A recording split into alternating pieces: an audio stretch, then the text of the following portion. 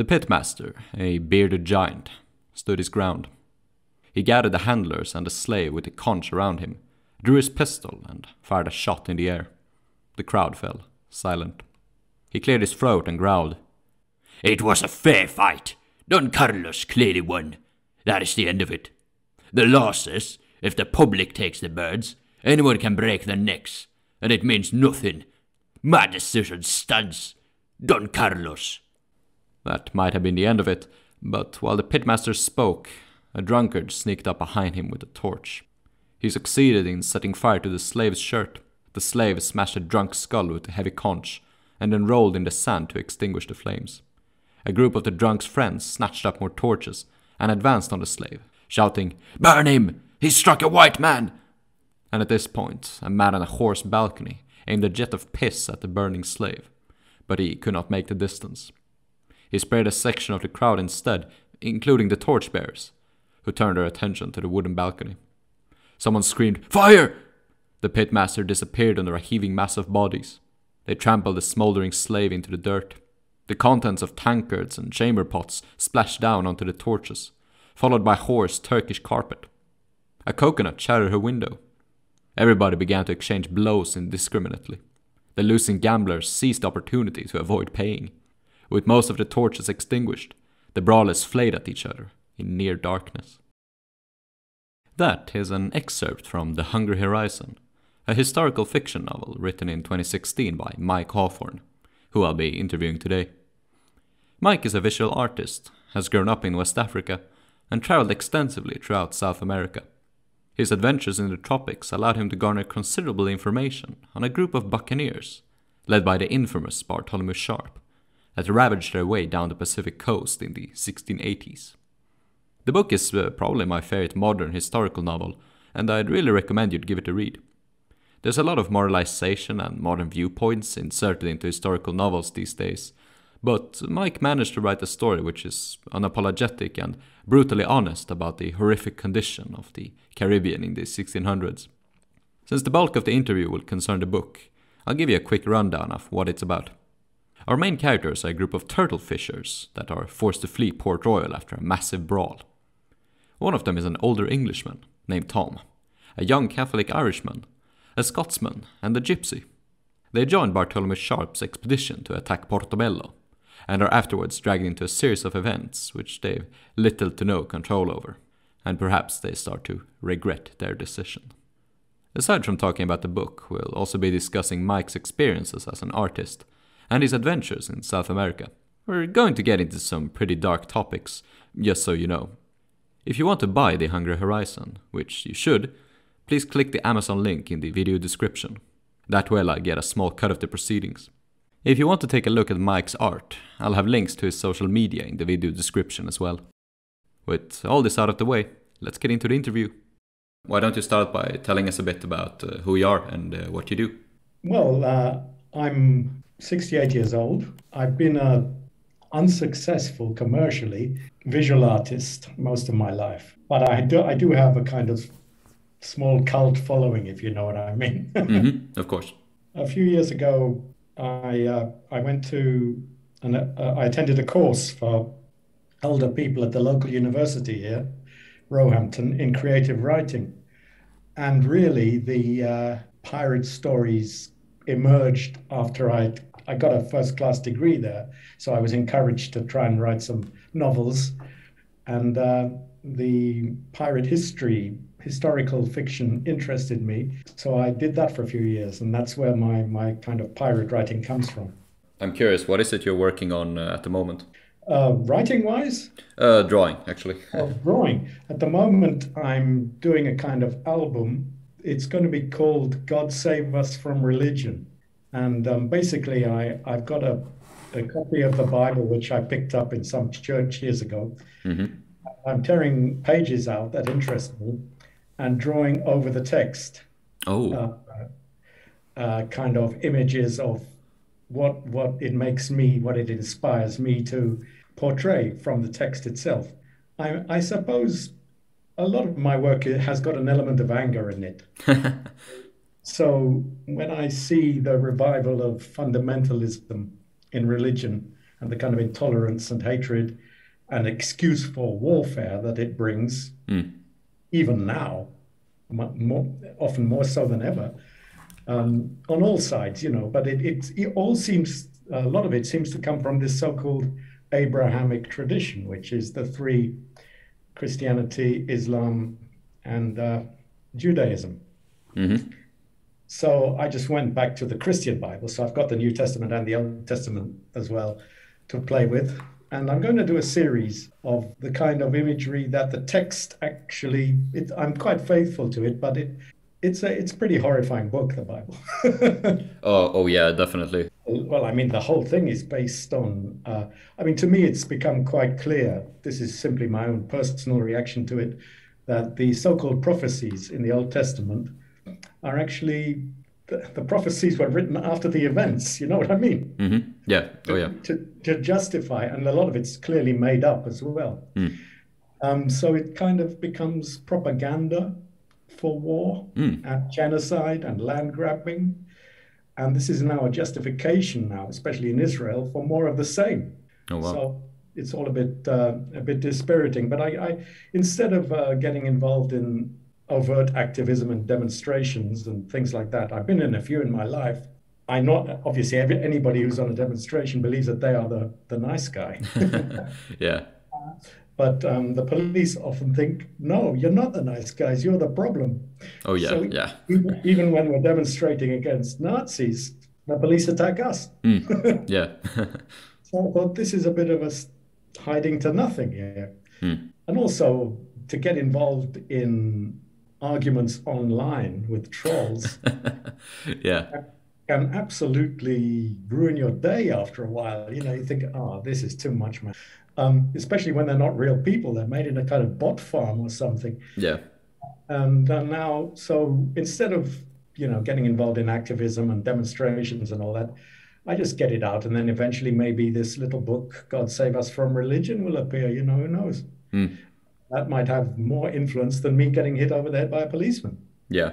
Uh, de- definitely. That's that's not a very productive way to uh, get your opinions out. Um, Yes, especially at my age, you know. yeah, of course. but um, so the main bulk of the interview is, of course, gonna uh, concern your writing. Uh, you've published one book, right? Yes, that was that was a bit of a fluke, really, because I, I just um, I've I've been hopeless businessman all my life. You know, what I really needed at some stage was a, an agent. Ah, But you needed an agent to get an agent. yeah. and I, I must admit I was lazy there. I didn't get the right support, and so I just always did the easiest thing. And uh, I noticed that one publisher in Arizona, Fireship Press, Yeah. which was founded by a golf champion years ago. And when he died, some female friends of his took it over. Hmm.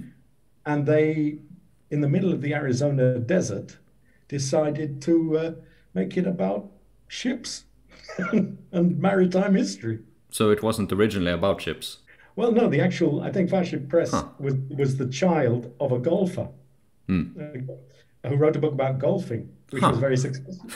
and then it, it kind of, when, when he died, in his memory, they continued the publishing. But it, it was, um, it's not, they don't do much editing or marketing. It's all down to the author. Wow, that's very interesting because like when I they seemed very demanding when I when I checked out their like uh, uh, Yeah. requirements. So I ex- maybe, maybe they've changed, um, uh, Maybe. since, you know, because this was all back in 2016 when I signed a contract with them. right. um, which you know, um, and I don't think it sold very well. I got you know, I never made any money out of it, but at least I had the nice little product in my hand, something to show, you know, and it, they they do. I mean, they produce a nice looking product in the end. Right. Yeah, the cover is like most. I mean, most historical fiction, most modern books, like they have just such ugly covers. and I, I think um, I think the Hungry Horizon it does have a nice cover. You know. Yeah, yeah. And then I, I was they they signed me up for a trilogy, so I got I got a bit complacent, and I thought, oh great, I've got three now. I've got a trilogy, but then they never really. I don't think for some reason they didn't like the second book. which Yeah, the where, Unholy, Unholy Trinity, which hasn't been published. Well, first, uh, first we need to know a bit more about uh, the Hungry Horizon, of course, which is Yeah, yeah, the well, first book. yeah. So, uh, why don't you tell us a bit uh, about it? Well, it was going to be obviously. Uh, it- it's basically can. I I've traveled in South America quite a bit, and I have good friends in Chile. Basically, I've been going there since 1972, since I Oh. this time. Um, I got being interested in history wherever I go and the culture of the countries I'm in. I tried to educate myself, and I read what was available, um, basic history books about Chile.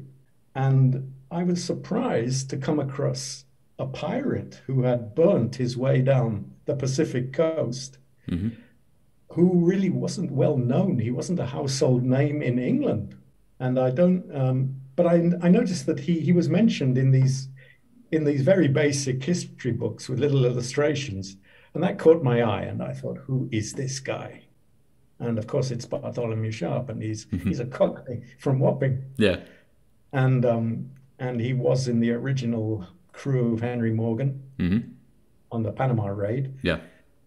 and he didn't come to prominence until 1680 when he launched his own enterprise. He wasn't even the chief of that lot; he was just a kind of one of three or four captains who were involved, and they decided to imitate Morgan, do another Morgan, basically. Yeah.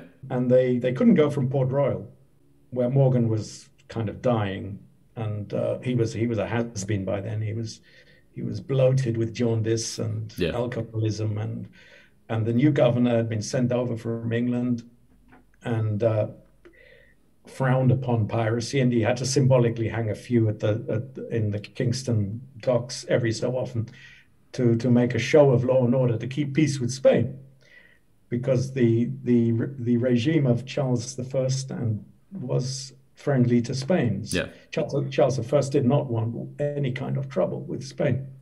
I mean, not Charles I, his son, the Restoration, Charles II. Yeah. Yeah. Exactly. And of course, a key figure in all this is the figure of the King of Spain at the time, who was a total invalid, a total invalid, a grotesque invalid. but funnily enough, he outlived all the other monarchs. Yeah. Yeah. He did. And when he finally died, that's when the Buccaneers came to an end and piracy began. Yeah. Um, after because there was a huge war in it was called Queen Anne's War in America, Yeah. uh, but it was the War of the Spanish Succession because this guy was such an invalid. I mean, there was no way in he could reproduce. Yeah. No way. No, Wow. but Sharp Sharp just interested me, so I began to dig around. Over the years, I accumulated a bit more information about him. Yeah. uh, in the and finally when I went to university I I got into the library at Greenwich Maritime Museum and I found various copies one book supposedly written by Sharp himself Yeah. which which I think was just an adaptation of Ringrose's narrative Hmm. I mean Sharp was also extraordinary because he had almost a press corps on board Yeah. Yeah. we had various writers who because it became it became a way of making money in England to sell pirate stories. I mean, Daniel Defoe probably wrote the big the the big book about all the pirate captains of the time of his time, Mhm.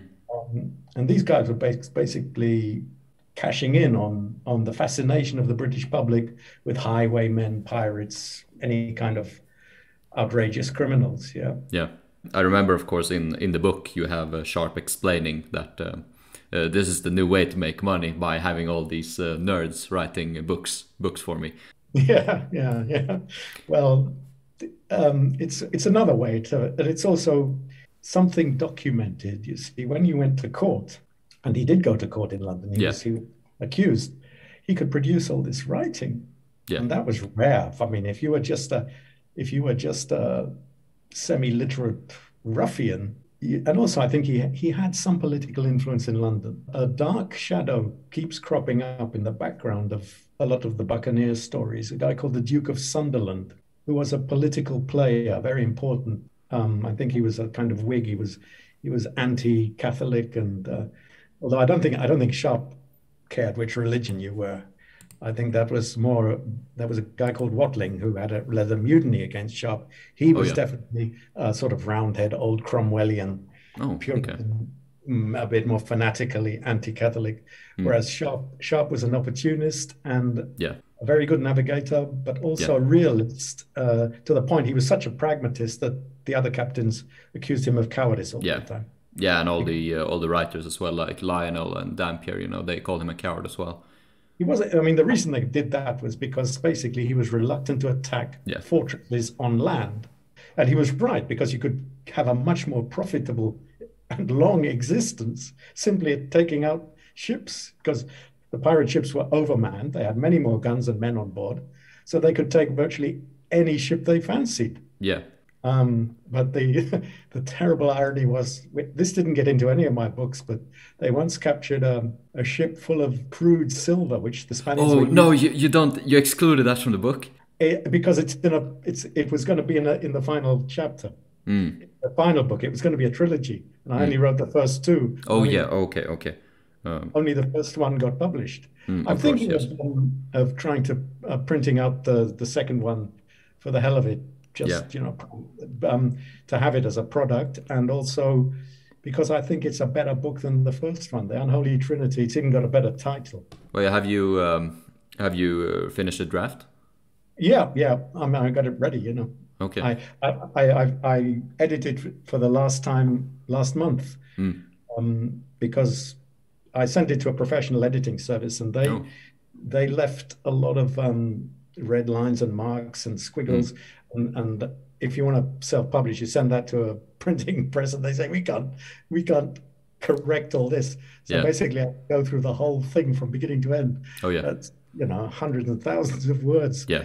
Um, and now I finally got it, and I corrected a few uh, few mistakes which I noticed, uh, grammatical errors and things like that. So now it's ready. That's good. But do you you do you include the um, uh, the bit about the silver, or is that going to be Oh no no no book? no no no! Because the thing was, I thought, oh, I'll just write this book about Sharp's voyage, Hmm. and then I then I realized how enormous the subject was. Yeah. I mean, I had no idea. I thought I thought this was just going to be a sort of a pirate raid. End of story. You know. oh no little- no. this thing this thing when you get into it it's fascinating because yeah. it, i mean the first the first the uh, hungry horizon i got a bit stuck with what was going on in jamaica. Hmm like because a lot of pirate stories they don't mention slavery very much. Oh no. No no. so i thought this needs to be corrected. We need Yeah. to have a chapter on a plantation. Yeah? And um, we need to see how the slaves were treated and what the attitudes were towards them you know? Mm. um, and so on. And then the living with the kuna indians Yeah. that that's never really been explored very much in fiction either No. so but right, we'll give him a couple of chapters in the Kuna village and on the warpath, you know, and all this Yeah. sort of thing. So before I knew what was happening, I had a huge book and I'd only got one third of the way through the story. Yeah. and then, then I thought, oh God, this is going to be, now it's going to be book two, which is the raid on Peru and Chile, Yeah. which was what first got my interest. Yeah. Yeah. Because I actually went to La Serena and saw the plaque on the cathedral wall where they'd, uh, where they'd uh, burnt the old wooden cathedral and now Yeah. the new one built and all that. Um, and the way that he'd even got into Chilean language and folklore a bit, you know. Mm. And uh, the local football team wears skulls on their sleeves Mm. in honor of him. you know, with, and so, in fact, if you look at my Zoom meeting thing, that is the uh, that is the chest badge on the football team of Coquimbo, which is in Oh. Chile. Okay. So It's is a- that uh, is that supposed to be Sharp himself? Um, well, it's it's a generic pirate. I don't believe, you know, I don't think he had an eye patch. I mean, No. no. there are no portraits of him, Yeah. and no, we don't even know if he was blonde, brown haired. We don't know any. Yeah, you uh, you depict him as um, as being light haired. Uh, no, blonde weasel, a weasel kind, long, tall weasel. That's just the way. Maybe it comes from an illustration I saw of him in a Ch- Chilean kids book. Hmm. You know, he looked like a sort of skinny, not very healthy, blonde guy. so yeah, that's that's how it all evolved. Um, I even wrote a screenplay about the the, Oh. the trial of Sharp in London. Oh, okay. But these, the, I mean, he, I think in his youth, he would have been what they called a Thames mudlark. Mm-hmm. These were, these were after the fire of London and the plague and all that. There were a lot of half-orphaned, feral children. yeah, wandering around everywhere in the burnt-out ruins, you know, and on the banks of the Thames, and many of them would have been glorified rent boys, you know, sort of yeah, give you a blowjob uh, for for a penny, uh, and they would have been they would have had little gang leaders, you know. Yeah. And he, that's where he may, might have got his leading groups of yeah. criminal. I mean, he did have relatives in Stepney, mm. uh, but not, not much is known about them. So he's basically an East End cockney and yeah. com- coming from the lower ranks of society. Ringrose was a bit different. Ringrose was um, trained by the clergy. Mm. He, he, was like a, a cleric. Yeah. And that's how he became literate. But he wasn't a softy at all. I mean, he was quite no. quite willing to go out and fight duels with the other pirates. oh yeah. You know. um, yeah, I mean, I try to get a little bit under the skin of the, the characters, and of course, I'm heavily fictionalizing. Mm. And, um, yeah, that's something I that's something I always wondered about in the book, which um, which parts of it uh, were real and which parts weren't. Uh, when you're when you're introducing fictional elements into a historical novel, I think even if you don't intend to, you are actually going into your own experience of life in order to mm. make it feel more real. Oh yeah, of course. So especially with the character of Captain Cook, who, who um, Edmund Cook, right? Edmund Cook, who was in fact deposed at one stage uh, because it Oh, became yeah. a little bit too much the way he was buggering his. his Yeah.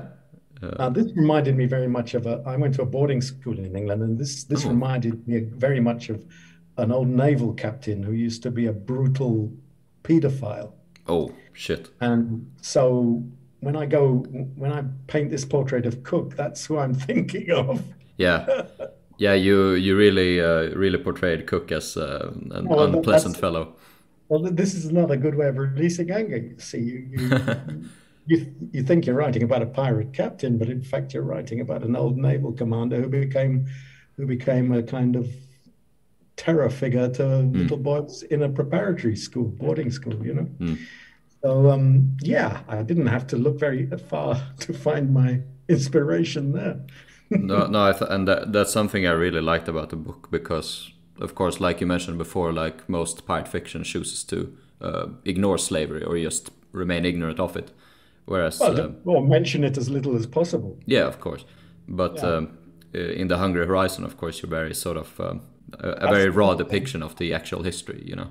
First thing that would have struck you if when you went to Port Royal would have been the slave trade and what was going on in the plantations because the, the sugar thing was just kicking off. It had just Yeah. it, it had just come from Barbados. They'd taken the island from the Spaniards and they wanted to make another Barbados in Jamaica Yeah, with all the horrible brutality that went with it yeah, and was taken for granted in those days. yeah, Uh, you know, really until much later in the 17th century when the, but that's that's a completely different century and going far Yeah. ahead from where we are. We're, we're just at the beginning when when people were basically coming up from society, looking to make their fortunes by any means necessary. Mm. Yeah. Yeah, and I, I like that there weren't like any characters that because that's often even in books where you see uh, and uh, where you see slavery, it's often like the main character or something is supposed to be uh, a sort of paragon where they're kind of oh I'm I'm against Yeah. slavery and I'm against all this. Uh, I mean, none of your characters really are that. I mean, Tom is sort of like He, he's basically a kind guy. yeah, Um, so he would have been he would have been upset by any kind of brutality, Mm-hmm. but he doesn't come out with a kind of manifesto or anything. He's not. Yeah. He's he he just thinks, oh, that's a bit much, you know. yeah, and I mean he wants to he wants to buy the uh, the black uh, washerwoman as his uh, Yeah. as his Yeah. wife, you know. which which many of them would have done. yeah, of course. And also, I mean, they do get Port Royal was was full of brothels, yeah, and often these people, the the actual women, would have been kidnapped in London. And yeah, um, I mean, there's a gypsy there who gets kidnapped, a woman, and because gypsies were regarded as enslavable, Egyptian, you see, heathens. So under British law, ah, they're, they're not really Christians. You can enslave them. So you could catch a gypsy on Putney Common, take him down to the riverside and sell him to a slave captain. And no questions asked. In Scotland, it was a crime to be a gypsy, to be hanged for simply being one. Have they uh, have they removed that law since then? Oh, yeah, yeah. Uh, of course, uh, since not uh, everyone has read the book, um, do you want to introduce uh, introduce us to uh, uh, the main characters in the book? So aside from Sharp and the historical figures. Yeah, basically, it's it's a, a version of the Three Musketeers, the three of them, uh, and also it's an Englishman, a Scotsman, and an Irishman, which is Yeah. how how you start a lot of jokes in England. And it's how we start a lot of wars. Yeah. So I thought, who we got? We got the main character, who is kind of my mouthpiece, and you see, I had Sharp and all his people, and they were vague. You know, they they they were vague historically. I couldn't inhabit them properly, but I could I could invent some people who could witness them and interact with them. Was there any of them that you? Uh, so Tom is your favorite then? Well, he was my- he's a kind of a bit me, you know, an old git, old kid, you know. Ah, he, be- he seems You know, like. who Um, wishes who wishes he was somewhere else, less oh yeah, less uncomfortable. yeah. Uh, wants to go to the. Um, I, I remember. I remember where he talks about uh, his uh, dream of going to the Netherlands and eating sausage in the in the evenings and all that sort of stuff. Yeah, and having a nice fat Dutch prostitute and a nice eider down. that's what that's what he wants. That's his idea of heaven. He doesn't want all this killing and sailing and murdering, you know. Well, did did you have any personal or life experiences uh, other than the boarding school that uh, shaped the events or the characters in the book? Well, yeah, yeah, probably because I, I mean, the boarding school was was was permanent feature of, for about twelve years. Um, but in the holidays, I used to go wherever my father was working, and he was in, uh, in the early days he was working on the West African coast. Yeah. So I used to live in places like Lagos, Freetown, and the Congo, Kinshasa, and all these were big slave trading areas originally. And you could imagine just sitting on the beach what would have gone on there a few, few, you know, about hundred years before. Yeah. Uh, and it it all seemed very kind of close. I could see how these disease-ridden white men would try to get a little bit of money out of anything they could on the, and then many of them would leave their bones there, of course, because it was known as the white man's grave. Even when we were there, we had to be vaccinated from top to bottom and take loads of pills every day to avoid malaria. But in a way, it is a very privileged existence as a child who had no responsibilities to be allowed to witness that part of Africa. And I'm so happy that he chose that part and not the part like the Rhodesia South African part, Yeah. which was white white controlled Yeah. completely. I mean, th- th- these these these was independent black countries. Yeah. They were still controlled by multinational um, economics, and that's why my father was there. But it was it wasn't in your face apartheid. You know, it wasn't the sort of thing that I don't know what I would have done if I'd witnessed apartheid firsthand. I don't know. I you know dread to think. and these were these were places run by local politicians, and they still had their network of old kings and princes and a bit of juju magic and all that, you know. So it kind of gave me a bridge to um, what would have happened on the other side of the Atlantic, maybe, you know, once they once they'd uh, they'd ended up in those awful plantations. Mm. No, I um, I was very impressed in the book that you um, that that you really went into the um, how the different tribes were treated and stuff. Like you talked about those that they were called like the sheep or something that had their ears cut off. The Portuguese had a habit of um, marking them on the ears like sheep. Yeah, I I mean, they were branded as well, but yeah, they were literally treated just like tame animals. yeah, So you would have made your mark wherever you thought, and the, the, the, this captain just thought, "Oh, I'd just clip their ears like like they were my sheep," you know. yeah, In Jamaica, it was a particularly brutal existence. You know, it took Yeah. its cue from Barbados, which was a sort of slaughterhouse. They were Yeah. forced labor concentration camp, kind of.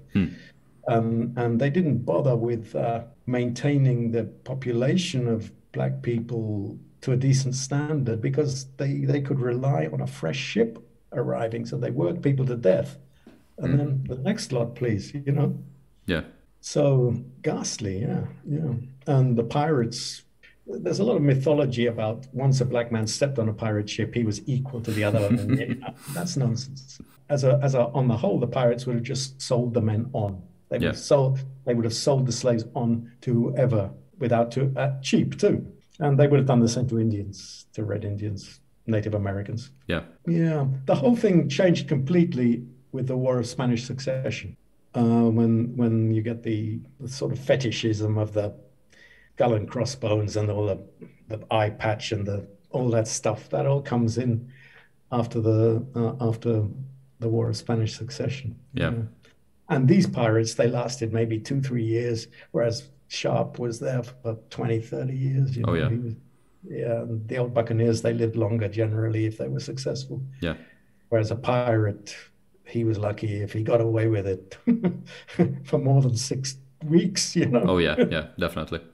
Mm. But I, I got the I got curious about it earlier when you first told me about the art. Um, is is there any sort of element of uh, anger in your writing? Mm. Uh, yeah, I think, uh, I mean, I, I, am aware of a thing called violence pornography. Okay. which a lot of people who write obsessively about war and death and mutilation and the reader gets a kick out of it because he's sitting in a in the safety of his armchair Hmm.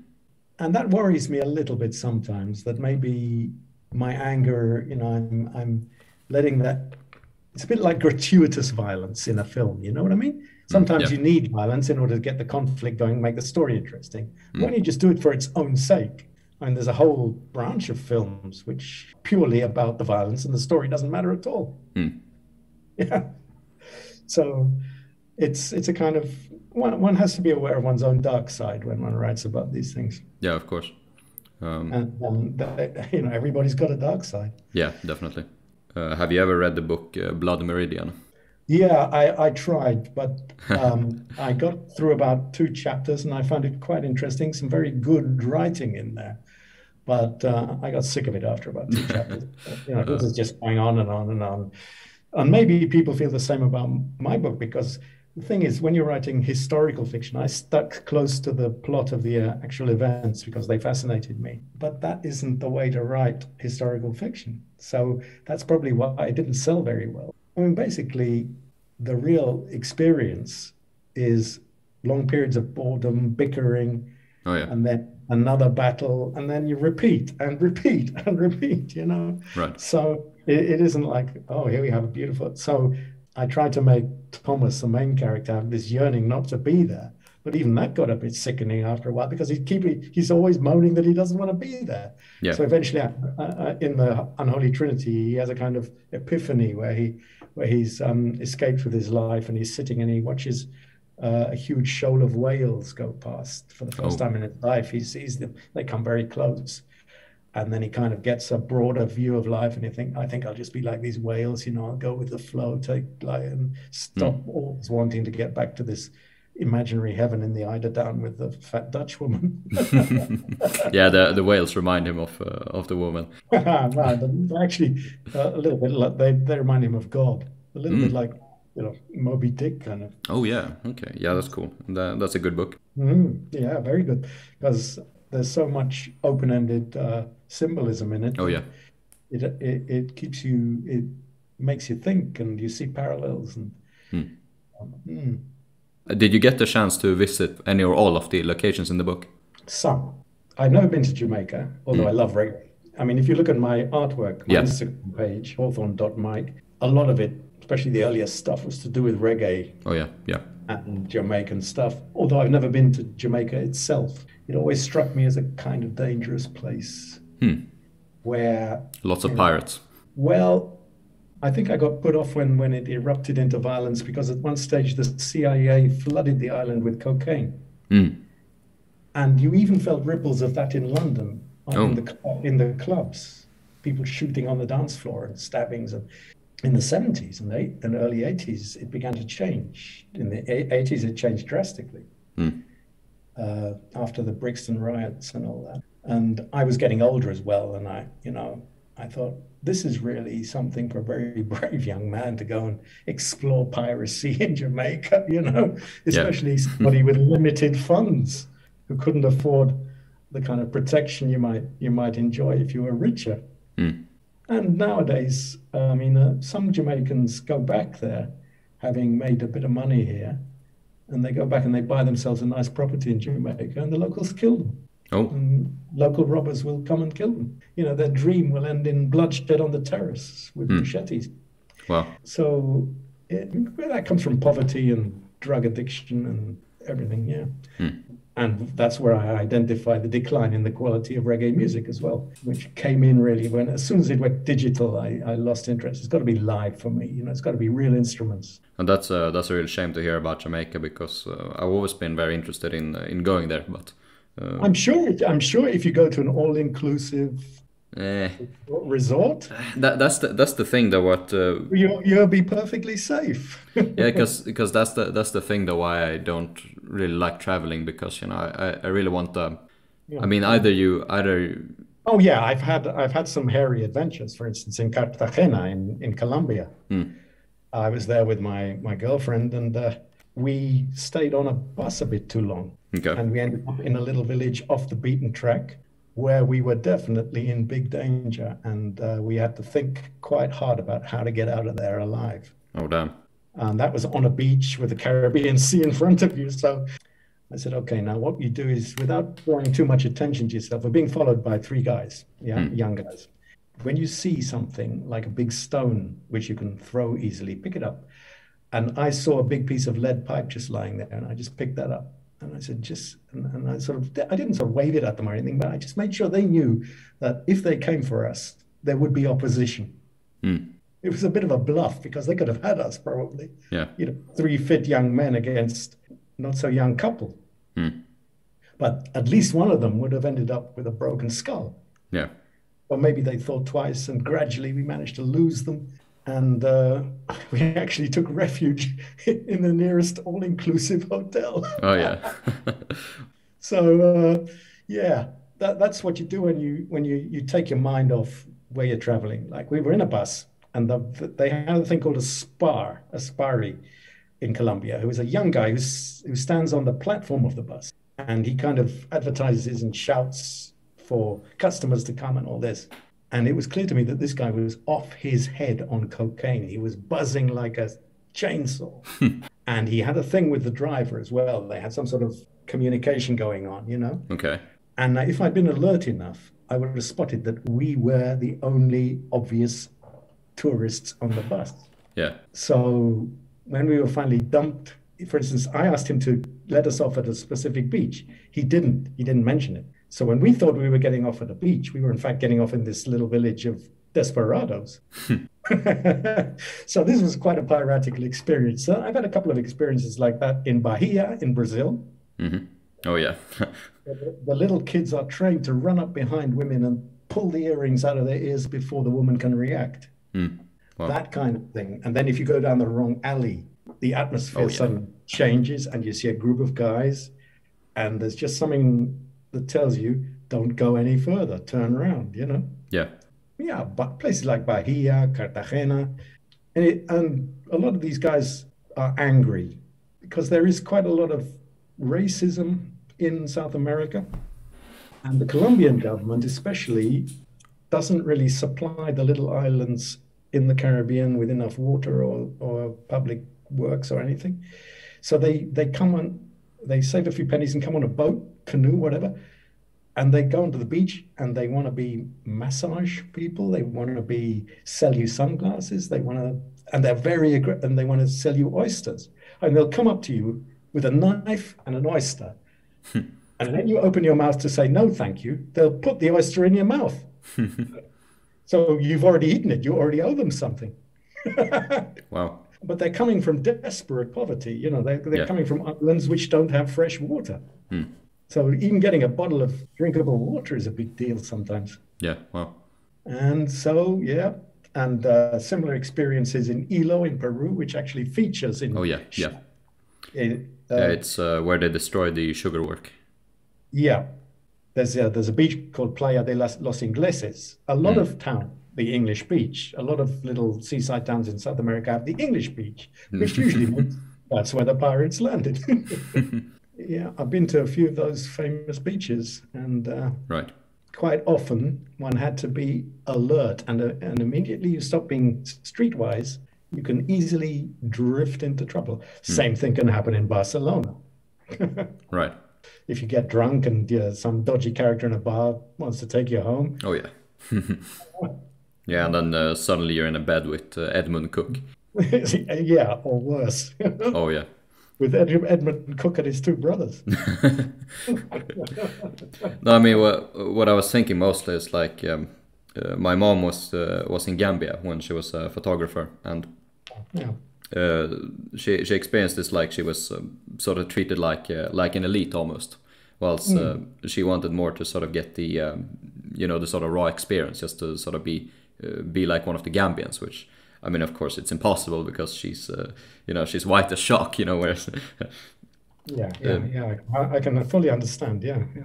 So it's um, uh, it's sort of like always. That's always why I'm reluctant to travel uh, very far abroad because you know I kind of want to get the. When I was in Egypt uh, as a kid, uh, we always traveled to these very sort of rural areas to really get a view of like Yeah, yeah. uh, how the ordinary people lived instead of you know the big hotels and stuff. But uh, that's uh, it's hard to do because everyone wants to sell you stuff or uh, Well, treat you. yeah, he- here, I mean, there's a there's a rather disparaging way of calling that. It's uh, here it used to be called slumming, when rich people from the West End of London, especially young men, used to go to the East End, hundred years ago, you know, Victorian gentlemen, Mhm. And simply to observe the uh, the terrible poverty and the drunkenness and the prostitution and stuff like that as a kind of adventure. And it was called slumming. It was a well-known feature of London life. And of course, one or two of these guys never came back. Yeah, yeah, but I, I feel a bit similar about what you might call poverty tourism. You know, you think uh, you'll be shocked, and you Yeah. might. I, I think that the secret is to have friends in that country oh yeah, yeah, who know the ropes, and then you won't make any of the obvious mistakes. yeah, Uh, simply to go as a complete outsider, you might as well be coming to a different planet. yeah, You know, here, here comes a Martian. What are they going to do? Yeah. Maybe, you know. Yeah, and then in Chile, Chile has its own problems, of course, um, but uh, occasionally on the beaches where sharp went and in places, my main worry was packs of wild dogs. oh Because coming from Africa, it, I have it when I see a pack of wild dogs in Africa, they were often rabid. Mm. You could see the in the heat of the day, foam coming out of their mouths. oh So I've had, I've had a kind of thing about when I see more than three or four dogs following me around.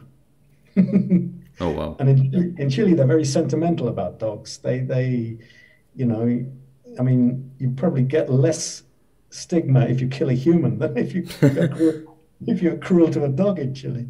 Oh, wow. So, so they they tolerate half-starved mutts, sort of yellowish, scrawny, sharp teeth, wandering around the beaches all the time. So that took a bit of getting used to. Uh, apart from that, you'd find a sperm whale, complete sperm whale, lying on the beach in front of you. oh yeah, And the, the local kids would have come with knives and cut graffiti into it. huh. wow. Are you uh, are you gonna include um, uh, the bit about the ringrose rights? Uh, he briefly mentions. I think it's near uh, Arica. He mentions a house built from uh, whale bones. That did it. That that somebody saw a chapel. It was a chapel. They built it out of the rib cage of a whale, and Yeah. they put a kind of crossbones on top of it for the cross. Yeah, Um, these things did exist because uh, that's a very, very desert area. There, there's nothing there, you know. Um, and uh, the, they would have used anything. Built a cabin out of whale bones would have been, you know, yeah. We, there's no wood. yeah, And uh, the the town of Iquique around there, that that which is now a big town due to mining. In those days, it was a little island with half-starved people living on it and fishing. yeah, That was yeah. Um, and I also my main sort of big where I really got a sense of the pirate was when I went to Juan Fernandez, they call it Isla Robinson Crusoe now. Oh yeah. It used, it used, it used to be called Masa Tierra, nearer the land. And then the other one, that small one, which is now called Selkirk, was called um, Masa Fuera, further out. Mhm.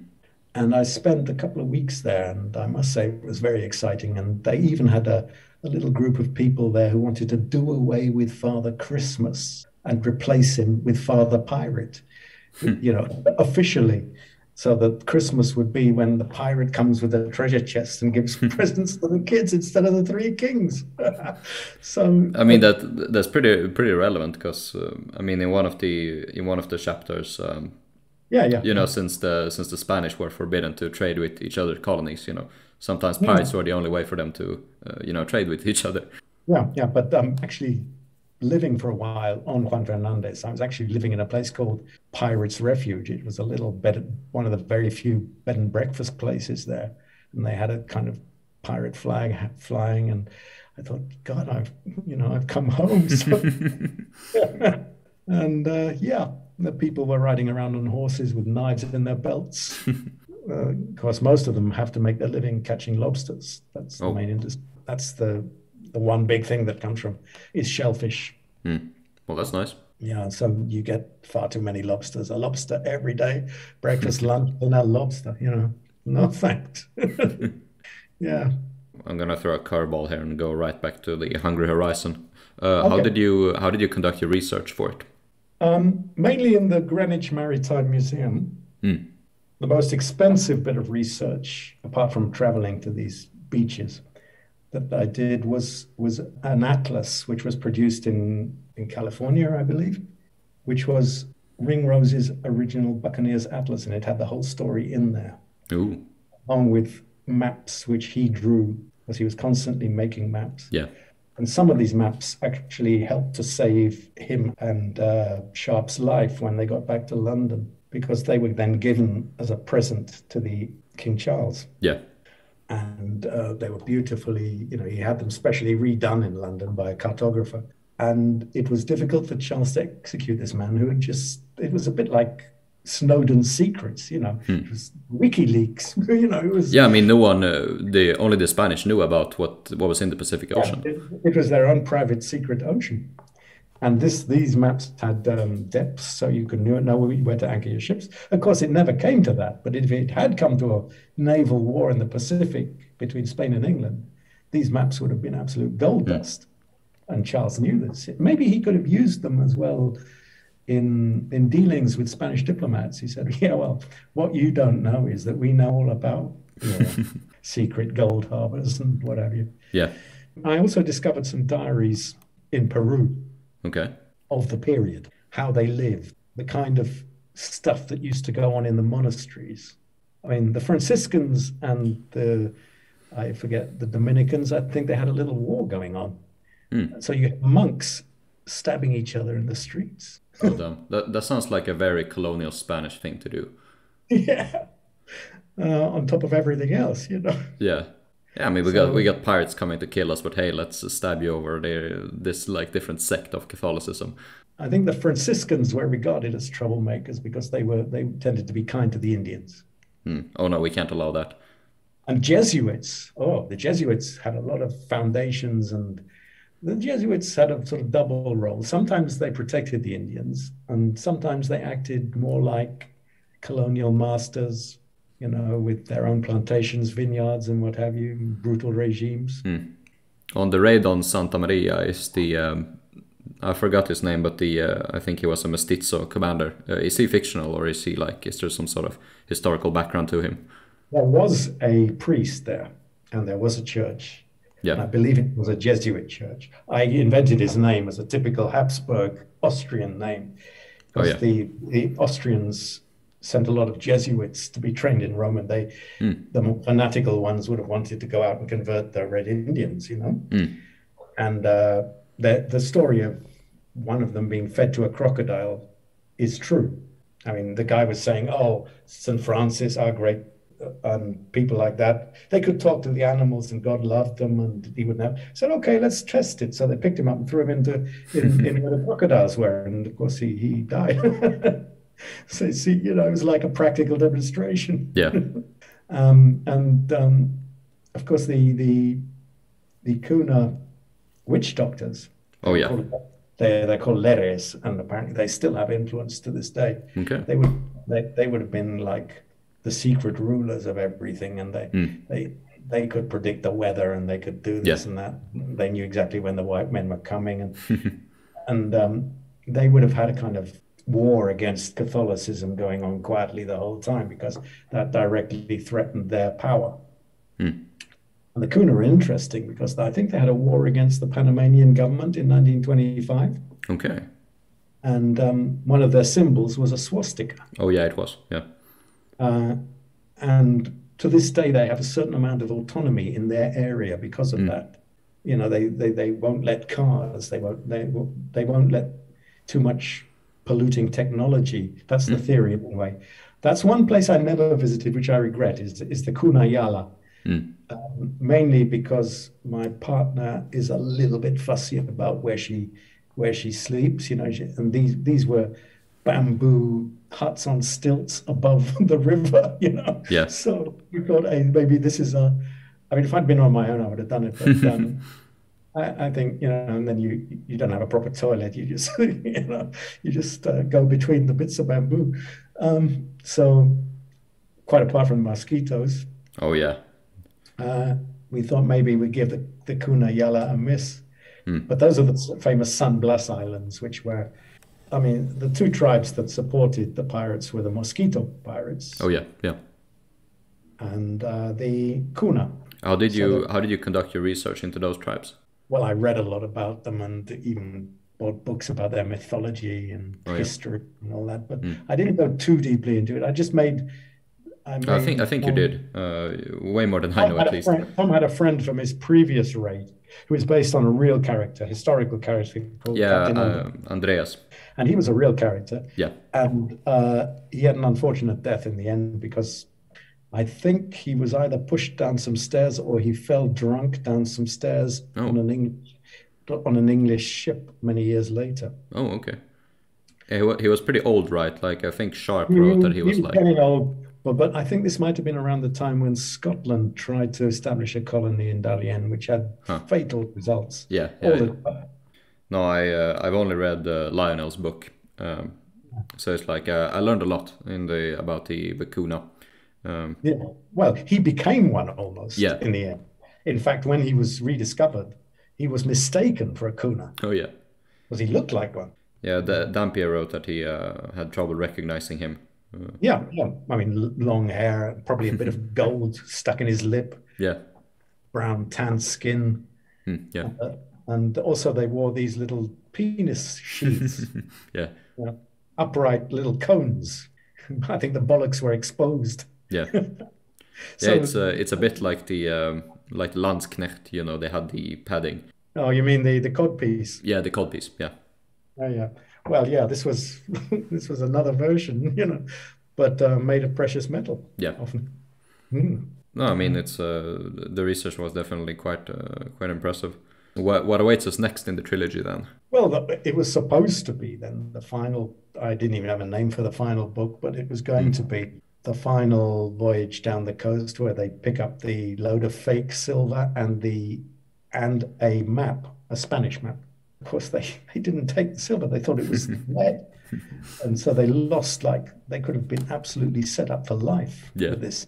And they, they, they just let it sink to the bottom of the ocean. Um, but the, the maps saved their lives in the end Yeah, um, until the Danes got hold of Sharp. It was going to be it was going to be Tom. Tom is still the hero, and I was going to turn him into a kind of figure of dread on St. Thomas because I got the idea that he would become a kind of professional slave hunter for the Danes hmm. because he was he was a sharpshooter, right? yeah, yeah, He had this wonderful rifle. So they would have been because a lot of the slaves who were running away from the Danes on St. Thomas used to run for the cliffs and jump in, jump off the cliffs rather than be slaves. Hmm. They'd run off the plantation, make for the cliffs, and try and commit suicide. So in order to deter them, Tom would be employed to kind of shoot them before they got there, you know. But then, kind of, there's a kind of then I invented a disease which uh, a famous British actor suffered from as well when uh, um, where your skin goes black. It's a kind of skin cancer. Mm. And he gets skin cancer in the face. So his face gradually turns black Mm. while he's being this demonic slave shooter. And in his sort of mind, adult mind, he imagines he's doing them a favor.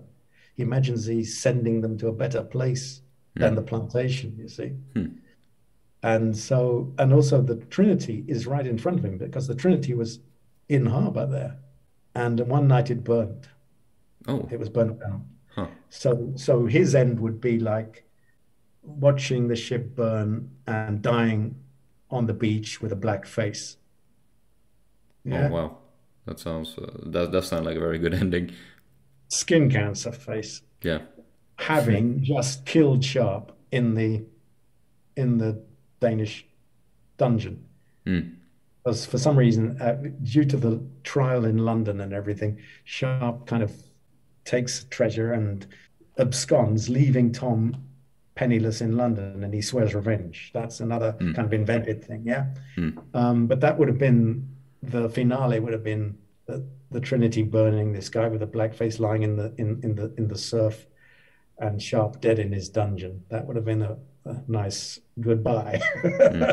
but didn't I? I never got there. You know. Do you think do you think you're ever gonna put it to paper?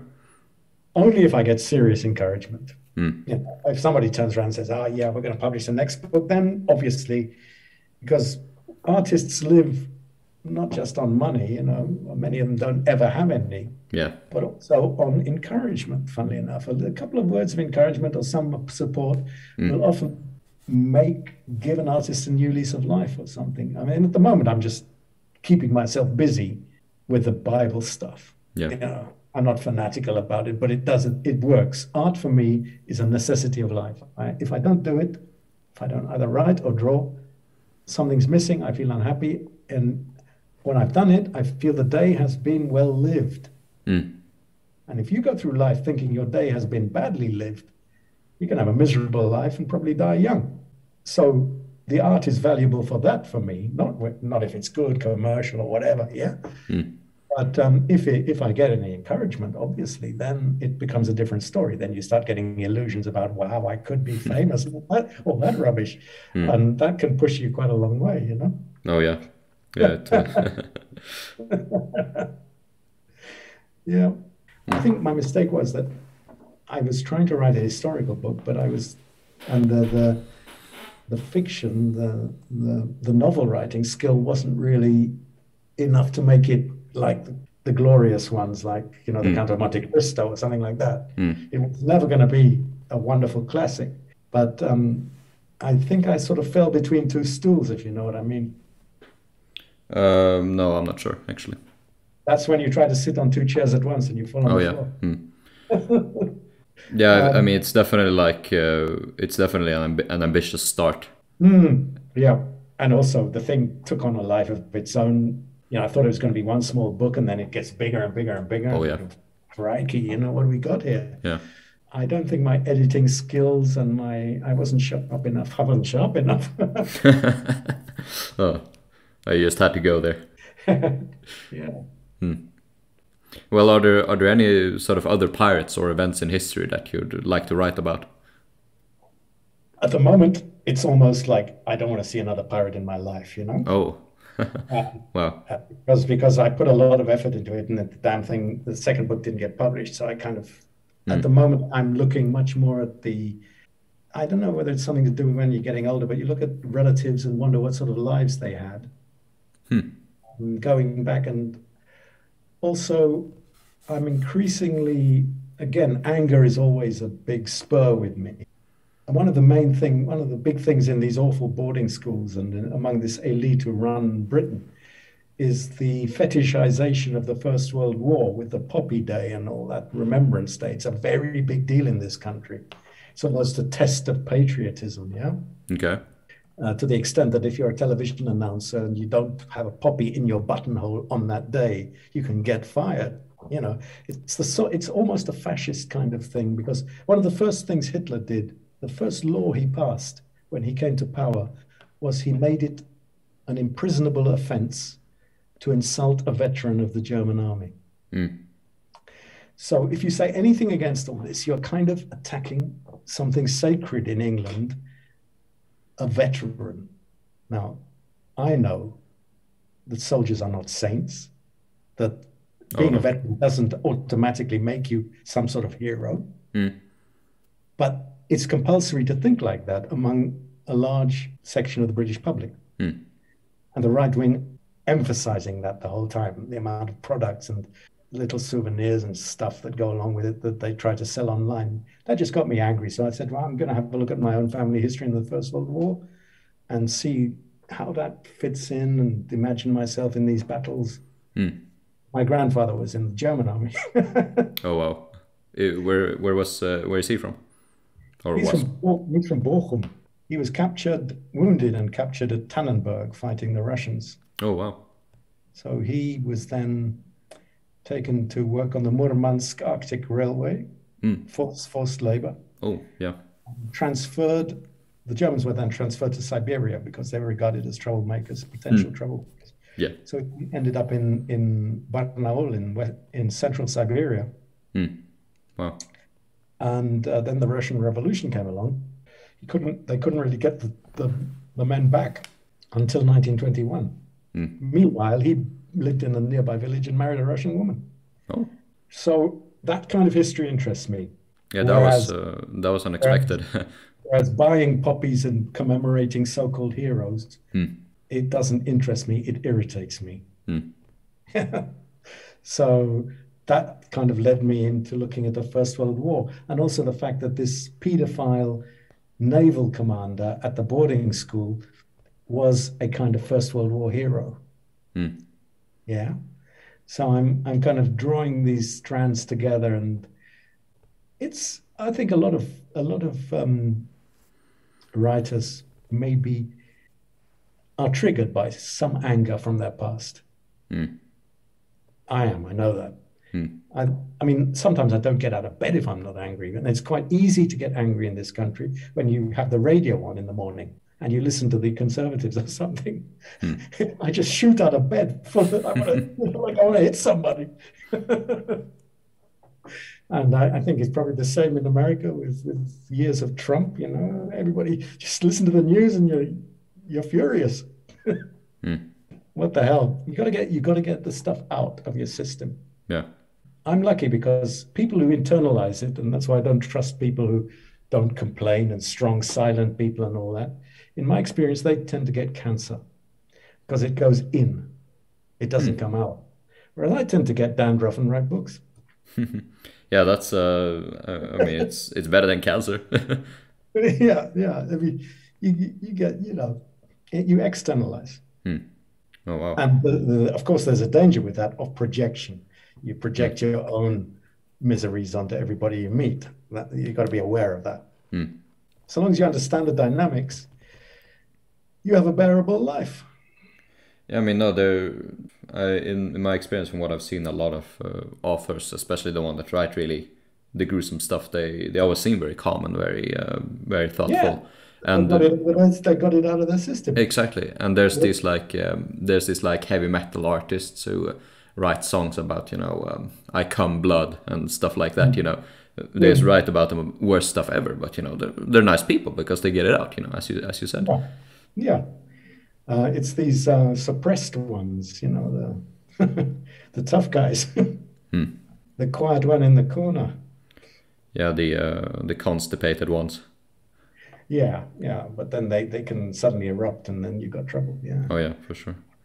Well, um, uh, we've been going on for a while, uh, gone through a lot, so I think we uh, can do some fun questions to conclude. I hope you got enough to edit into something something interesting to listen to. Oh yeah, yeah, it's it's gonna be great, that's for sure. But uh, I'm probably gonna like move around them a bit to sort of uh, structurize them. But yeah, Yeah. let's uh, let's do some uh, fun questions to as a conclusion. Okay, okay. Okay. So, is there any sort of conception about pirates or misconception that uh, annoys you in particular? I think there was a time when they were kind of romanticized, and that annoys me. And I don't like the childish Disney transformation, supernatural people turning into jellyfish or whatever. You know? all, all that stuff just bores the pants off me. Oh yeah, I'm, yeah. I'm much, much more interested. That's why I quite like your um, YouTube channel because Oh. you're dealing with um, respectable history, you know, Hmm. and then that is much more interesting than crazy fiction about, you know. But of course, I, I'm really going to recommend people to check out uh, the Hungry Horizon as well. Yeah, and also, if you come across a, a eccentric editor or publisher, the the Unholy Trinity is looking for a home. It, it can come out as a book on its own. Oh yeah.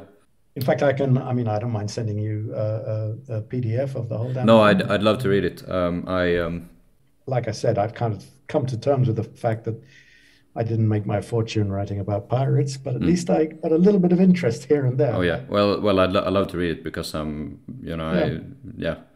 Um, but yeah, next question. Um, what is your favorite uh, pirate ship? Uh, so uh, ship type that is. Ah, well, it would be the, something like the Unholy Trinity, something like the Trinity, which would be a small galleon, Hmm. a small Spanish galleon, circa 1670, something like that.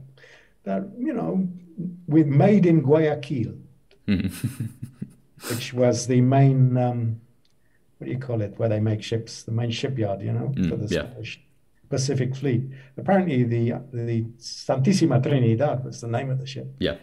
and it lasted for a long time and it was a beautiful little thing and it had lots of intricate carvings and stuff on it which were removed by the pirates of course Yeah. because they chopped it down to the waterline almost to make it faster Yeah. yeah Um, but yeah, final question. Uh, who is your favorite pirate aside from Bartholomew Sharp? These guys are pretty nebulous characters at best of times but one that has always fascinated me from a distance was hmm. lawrence, lawrence de graaf Oh yeah. apparently he was a holy terror and he was attacking mainly Yucatan. And I like him because there's a kind of musical connection to him because he he had a full orchestra playing in the back of his bloody, you know, ship. Oh Not just a couple of drums and bagpipes. He had he had the like cellos, violins, you name it. So wow. it you know you can imagine the soundtrack must have been good. also, there is a famous song which comes directly from one of his raids called La Bamba, Hmm. um, because when he attacked Veracruz, some of the townspeople took refuge in the cathedral, and he set fire to the cathedral, and Ooh. some of them tried to escape up the ladder into the bell tower, Ooh. but they all burned alive. So when when they say in the song, para irse al cielo, to go to heaven, um, y arriba, y arriba, y arriba, iré. That means I'm going up this ladder to get to heaven while, and Baila la Bamba is basically all about burning to death in a cathedral. You know, that, that's why it's Jonas Palmer. And then you get bits of the, the nautical stuff, you know, soy marinero, soy capitan, and all that. Um, so that little bit of stuff, him and his orchestra, and then that crazy song. Lawrence de Graaf, known as Lorencillo Yeah. or El Grifo. Yeah. No, he's uh, he's a great pick. Um, I, I know some about him, but uh, I definitely want to research him more in depth. Uh, Uh, yeah, he would he would be um, he would be much more of a kind of superhero than Sharp. but I don't I don't read Dutch no Flemish, oh yes. so Yeah, it's it's a hard language to get into. yeah, yeah. Uh, well, this uh, this has been super fun. It's been very enlightening. Um, just hearing all of your experiences, you know, it's uh, you know, uh, picking up the lead pipes and uh, see, seeing all those beaches, you know, it's great, great stuff. You know, a lot of a lot of exciting memories. Maybe not good memories, but you know, No, I mean it's it's everybody's life is full of little incidents, you know. yeah, yeah of course. Uh, I'll uh, I'll catch you later. We uh, we can chat some more in email probably. Okay, yeah, and if you want any any any information, I, I'll mail it to you. Yeah, Yeah, thank you. Well, uh, Okay. yeah, have a good one. yeah. You too. Bye. Bye. And that was the interview with Mike Hawthorne. Pirate history is hardly a comfortable topic, as you might have realized as a long term fan of this channel. However, it is far too often sugar coated and almost fetishized in media.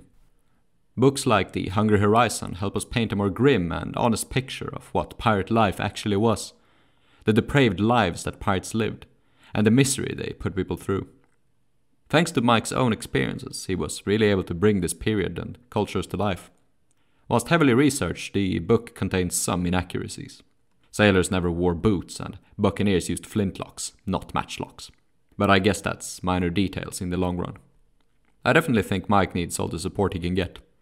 So please, click the Amazon link, buy his book, read it, and follow him on social media.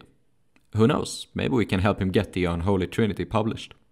Since Mike sent me the draft, I've gotten through about a fourth of it, and I agree with him that it's better than the first. I'd love to see it published. Anyway, thank you for watching the interview. Cheers.